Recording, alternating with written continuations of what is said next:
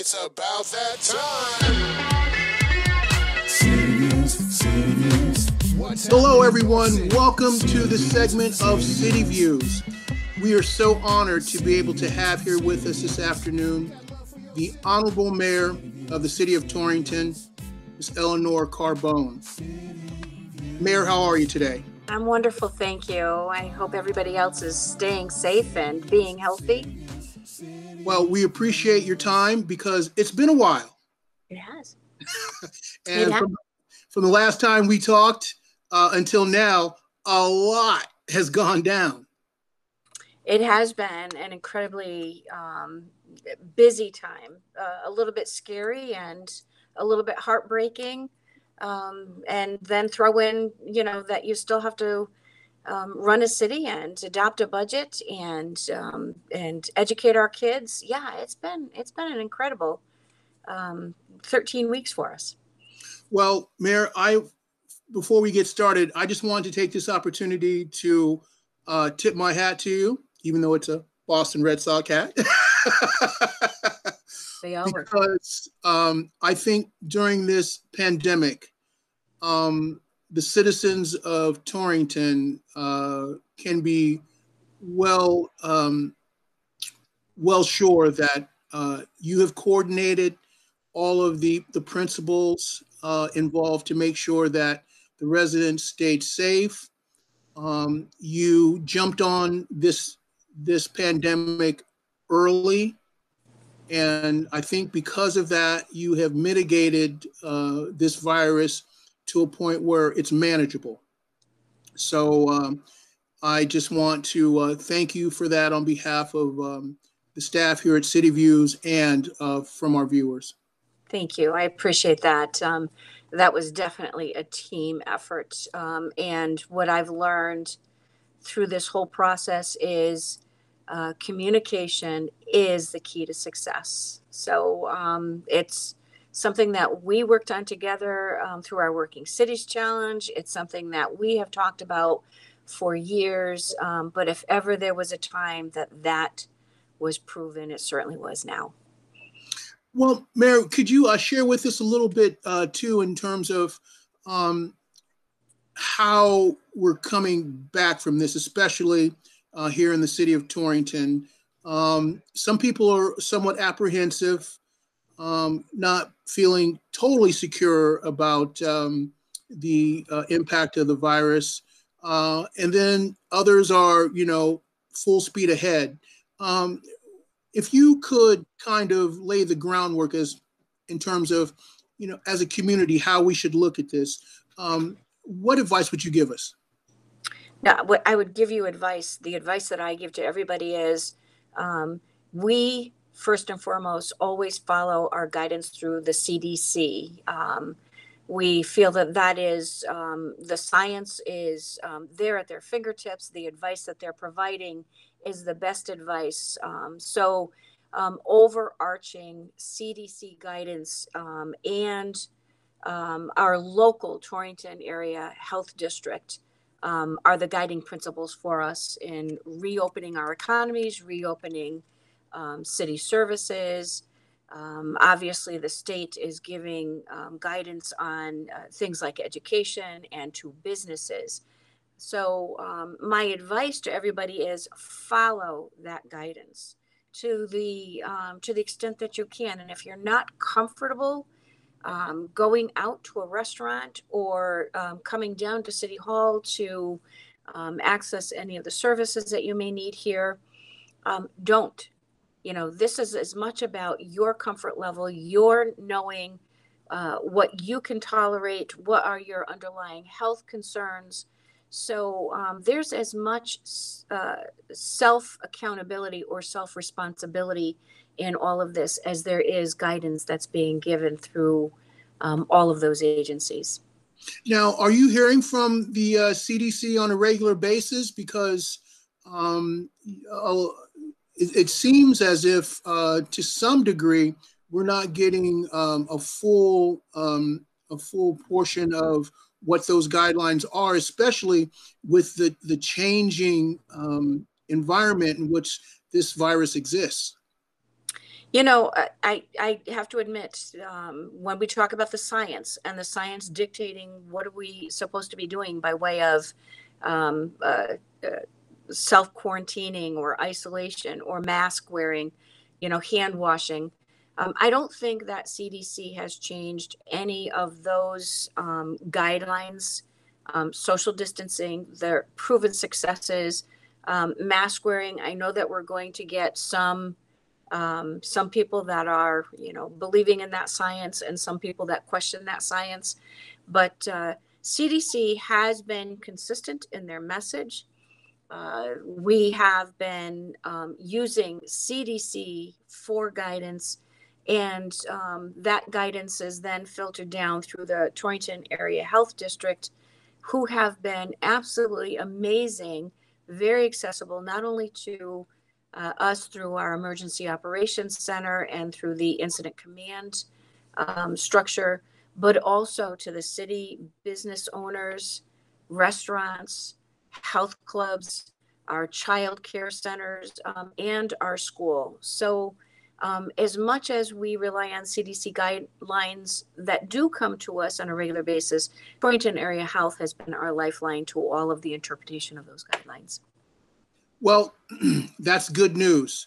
And I think that uh, understanding how well coordinated you are with uh, your your entities uh, surrounding this, I think gives a lot of comfort to to the residents here. Um, now, there is talk about a second wave. Um, what measures are you prepared to take if indeed we have another breakout here in our city? You know, one of the things that we learned going into this pandemic is um, there's this document that is known um, among um, federal agencies called a Continuity of Operations Plan, a COOP. Um, and it's something that, you know, we did not have here in the city for city hall functions. It is not something that any of our businesses um, had within their um, toolkits for uh, operating businesses. So, what we have been doing in the last four weeks is reaching out to businesses by sector and holding these teletown hall meetings to not only help them interpret the guidelines for reopening, but also to establish an open line of communication so that we can start speaking with them about um, developing that coop for their businesses.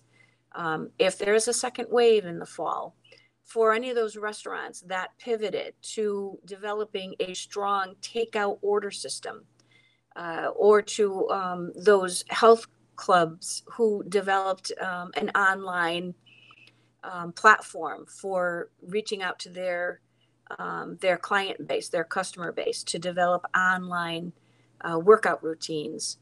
Um, so we're now transitioning into that to help them identify what are those resources and how can they strengthen those resources. Now, with the business uh, aspect of things, uh, it seems that uh, you know you're making head headroom there. But uh, how are things going to be looking in terms of the educational scene going forward, if in fact there is a second wave that hits us? Think this is one of the hardest things for um, us as a municipality um, or for the Board of Education and the um, school administration is not knowing what that looks like. Um, obviously, they're usually planning now for what the opening of school looks like at the end of August they don't know at this point exactly what that is you know how many uh, how many kids can be in a classroom at one time you know how many um, children can be transported by uh, by bus what are the um, safety protocols for social distancing or mask wearing?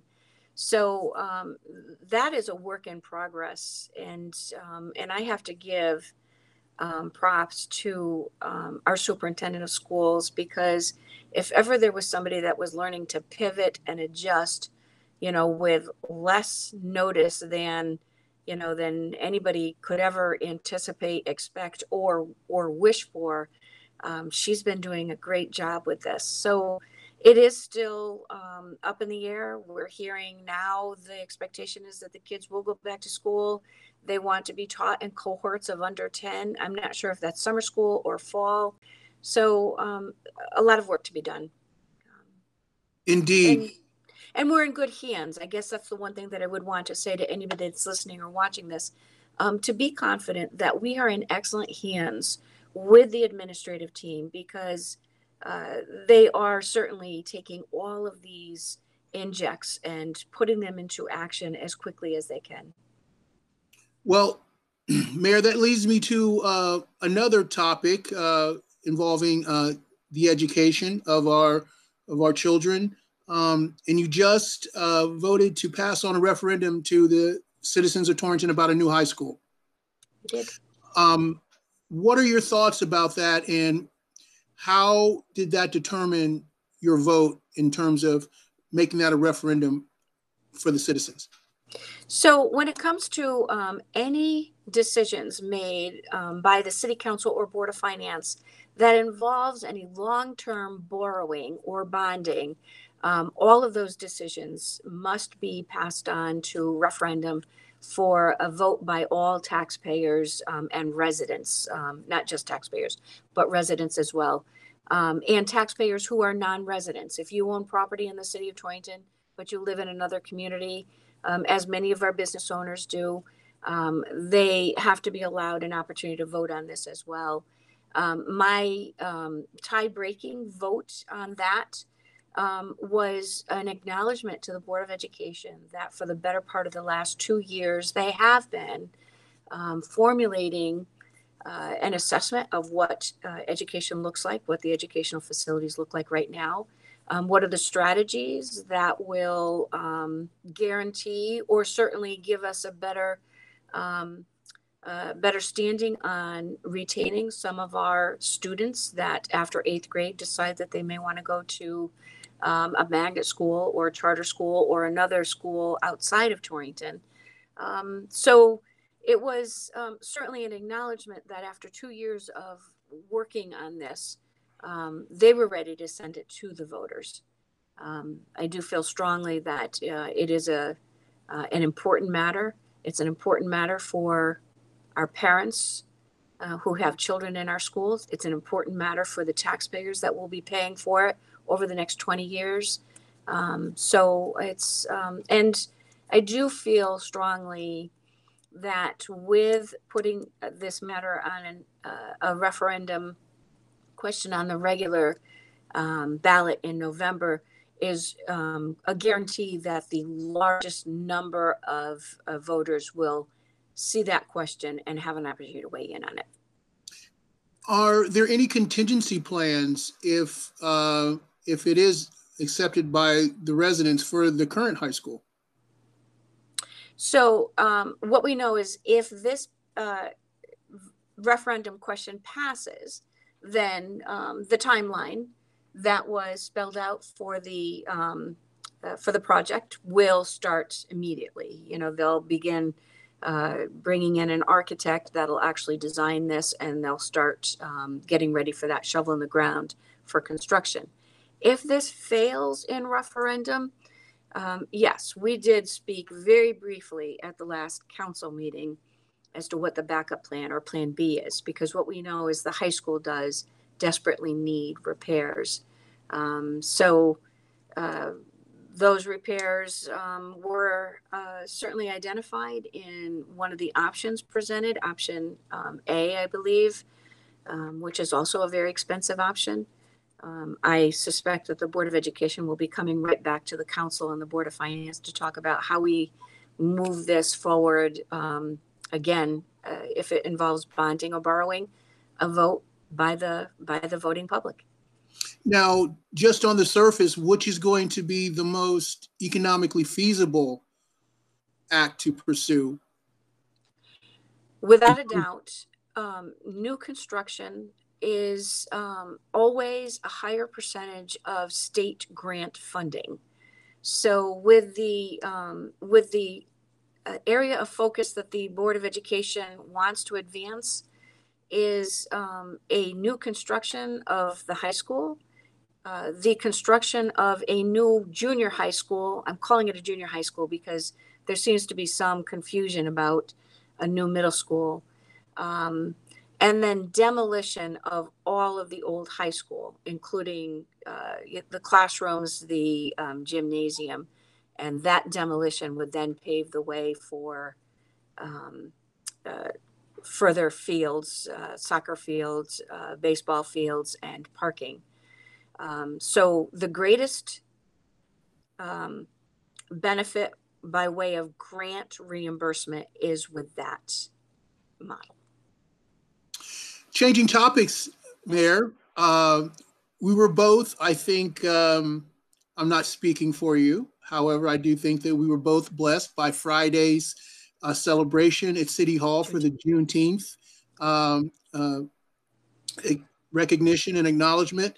Um, and you've been working very closely with uh, two members in our community who have uh, stepped up to uh, do some amazing things here in Torrington, uh, Effie Johnson and Angaza and Wando. Um, share with uh, our audience a little bit uh, about your views about uh, the Juneteenth celebration and how these two individuals have brought uh, that aspect of culture to Torrington. You know, I'm incredibly proud of um, the work that has been happening over the last two years through our culture is beautiful. Um, I know that you're also um, integral to that organization and the efforts that have been um, being advanced out of um, our culture is beautiful. Um, I, I, always feel Torrington is just a little bit of ahead of our time when it comes to these things because we are so blessed to have the benefit of a community that is very um, aware of um, our cultural differences, very aware of our um, uh, our need to be working together. Um, I always say this: um, we are um, a city, and like big cities, we have big city problems, but we are still small enough to know and care for each other. we don't have neighborhoods or sections of town or districts or boroughs that separate us. You know, we all live together, our kids go to school together and play together, we all work together and pray together. Um, and um, to me, that is um, the basis or the foundation for good relationships in our community. Um, Effie and Ngaza, um, as I say, over the last two years, have done a lot to um, identify more ways for us to embrace our cultural diversity. Um, again, ahead of their times over the last two years. On Friday, which was Juneteenth, it was a great celebration of the um, last level of awareness that need to be brought to the nation about the end of slavery. And uh, as as I said in the um, proclamation that I presented, um, this is worthy of national recognition as a national holiday. Um, just as we celebrate the 4th of July, which is the celebration of uh, the nation's freedom, we should be celebrating Juneteenth on that same level. Um, so I'm looking forward to continuing all of those discussions with our Culture is Beautiful, with our Cultural Affairs Committee, um, and with members of our community not only those members that live in the city of Torrington, but our young people who chose to move away from Torrington, but still have their finger on the pulse of what we're doing here. And I'd just like to acknowledge, uh, Mayor, the fact that you did have a proclamation from the city in honor of uh, Juneteenth Day, and uh, hopefully that will become a reality here in the state of Connecticut for us. Yes, no, I agree. It's worthy of it. Now, uh, Franklin Street Project. Uh, things seem to be coming along uh, quite uh, quite amazingly there. Um, uh, how, how are you feeling about the project? You know, I so I, I grabbed a cup of coffee down at the uh, Good Company Coffee House this morning. She's open again. Um, and had an opportunity to sit on the you know the portion of the sidewalks that are uh, accessible to the public. I'm incredibly pleased with the progress that we've made on this. Um, it's always hard to get the public to understand what you're trying to accomplish when you undertake such a big project um, in an area that is underutilized or underappreciated, yet um, is essentially a welcome mat to the city of Torrington from all parts south whether you're coming up from um, the south end of the city or coming down 202 from Litchfield. Um, it is, um, I want to say, ahead of schedule in many aspects. We had good weather all winter long, so we saw construction happening um, at a clipped rate. Um, unfortunately, um, with this pandemic and the limit on the um, crowd uh, uh, crowd sizes that we can have, I don't see us being able to get any of the programming in that we hoped we'd have in this summer. Um, but I do think now that people can see the vision on how this social civic space can be used um, for farmers market, for pop-up uh, music events, pop-up art events, uh, fundraisers, festivals, or simply for outdoor dining, which um, we were able to enjoy a sliver of this morning. So I'm pleased. I Um, hope the residents are as well. I got uh, a call from Gerald Incandela. Mhm. He's uh, in Los Angeles right now, and uh, he wanted me to give him an update. I said I would be talking to you today. so uh, hopefully he'll be returning uh, to Torrington uh, as soon as uh, he gets the go ahead from um, the governor of California that uh, they're they're good to go there. So Yeah, Um, and I appreciate your sharing that. He um, he emails me occasionally just to check in and to remind me. You know, one of the um, one of the elements at Franklin Street is a meditation labyrinth, which um, I have been trying to find the right location for this labyrinth um, uh, for the better part of a, a decade, for ten years. Um, so when we decided to move forward with the Franklin Street, the Franklin Plaza, I'm calling it um, identifying in Patterson Park that it really almost uh, presented a natural um, uh, uh, location for this. Um, and I shared that with Gerald Incandela about four or five years ago. And at the time, he was traveling to his home in France. And when he returned, he brought a paperweight which has a labyrinth on it for me, um, just to remind me that I shouldn't back off of my vision. So every time I pick up that paperweight, I think of him, and um, I think he will be quite pleased when he sees the progress we've made. Very cool. Now, Yeah. uh, unfortunately, um, Mayor, um, I'm sure that uh, you have observed the um, social unrest that um, there's been uh, coming into play since some of the uh, unfortunate and tragic deaths of um, some citizens of our country. Um, we had an interview uh, last week with our new chief of police, Bill Baldwin, and he, I think, is just the right type of man to have in this position at this particular time.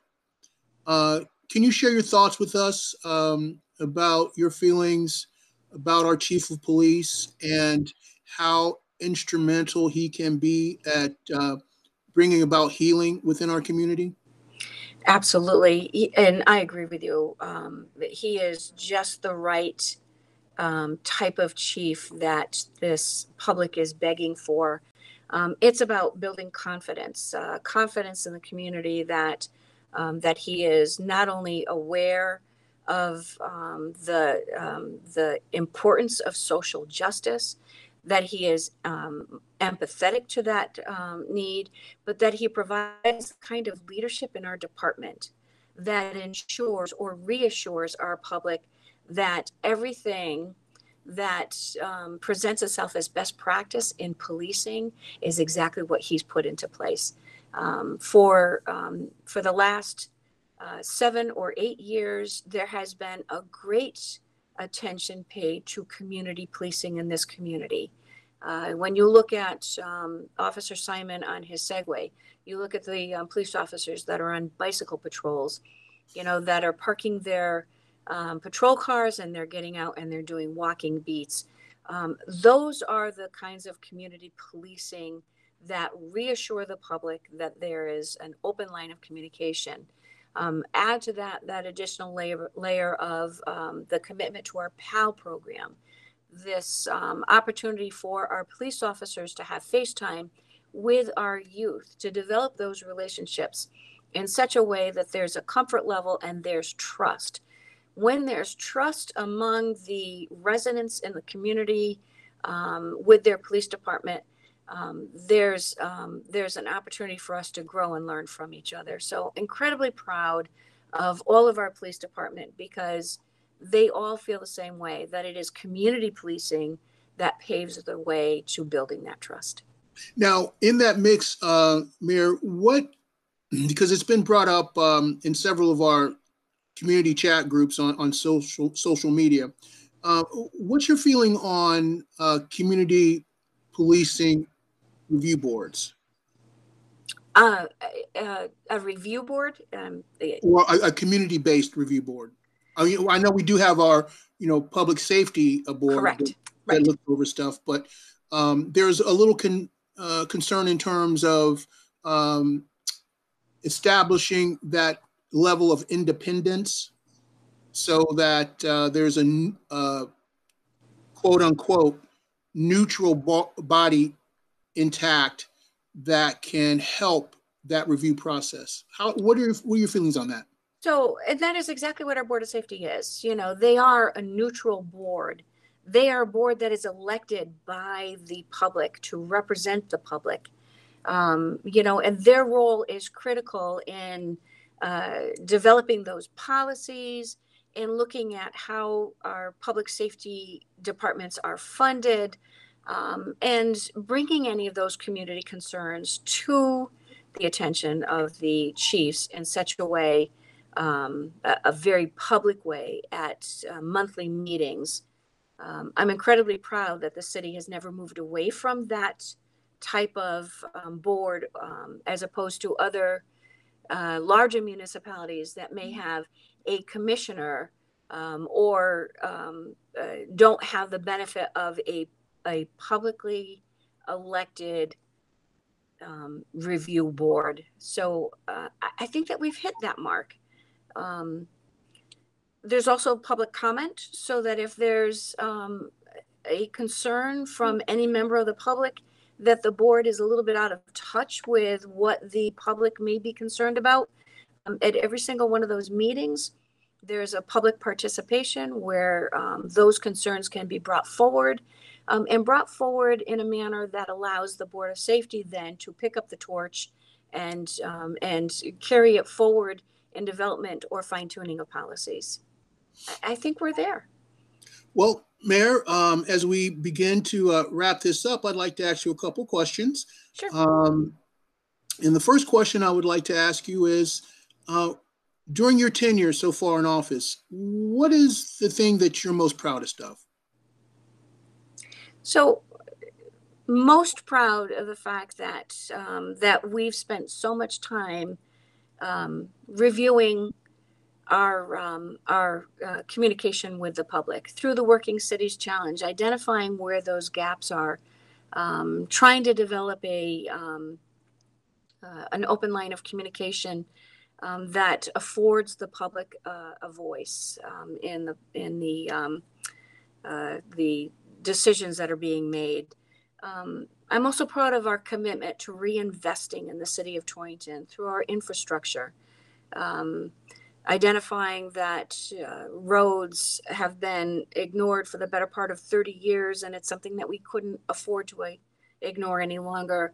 Um, very proud of the fact that we're uh, looking at um, further investment. You know, I always say that if you know um, if we're not investing in ourselves, how can we expect uh, a business or a family to come and invest in us? Um, incredibly proud that um, that our um, community has um, found a way to um, support each other, um, and nothing was more evident of that fact than through this pandemic um, finding ways to support um, uh, food insecurity during the pandemic and working with our um, food banks and uh, food collection processes working with our hospital and identifying where might there be um, you know uh, uh, some support should they need it in, in the event of a surge that couldn't be met in their hospital um, just so incredibly proud of this community because, as you heard me say it earlier, you know, we are small enough to know and care for each other, and that has been proven over and over again. Now, is there one thing throughout uh, your tenure in office that perhaps you might wish that you would have done differently, or um, something that you think that you possibly could have improved on? Well, always. I mean, I don't think there's a mayor or a legislator out there that doesn't say that every day there's probably something that can be done better. Um, I know that uh, you mentioned social media earlier. I know that there's um, there's a large demand for um, more information, more immediate um, through social media. Um, I don't have a strong social media um, presence. Something that I think I need to work on. Something that I need is uh, that I identify as as uh, an area of improvement.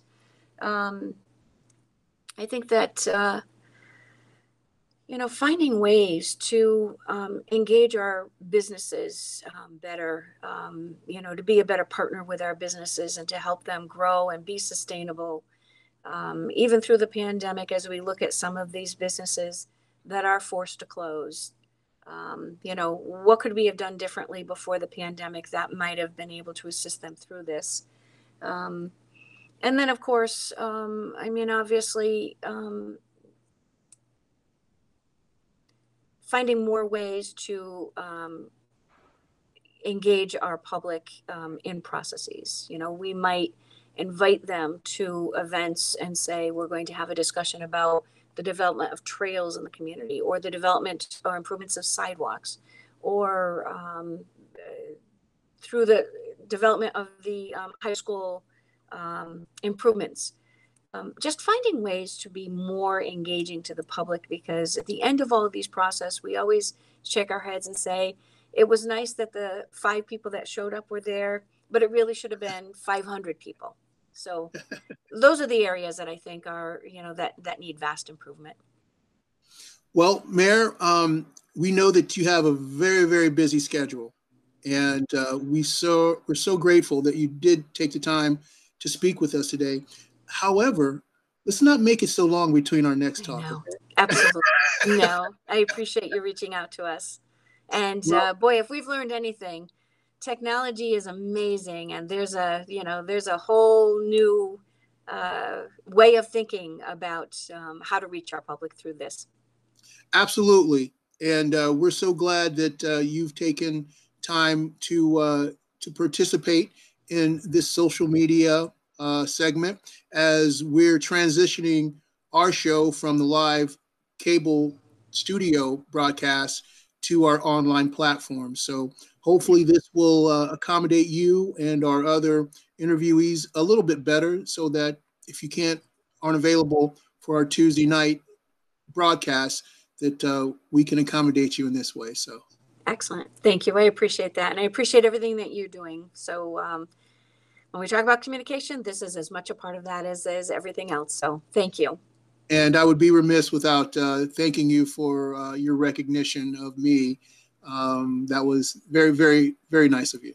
Absolutely. Grateful for all of our members of our community that are making us better. Absolutely. Ladies and gentlemen, the mayor, the distinguished mayor of the city of Torrington, Miss Elinor Carbone. It's about that time. What's happening in your city? City Views, City Views. City Views, City Views. You got love for your city? City Views, City Views. City Views. Ah, City Views, City Views, City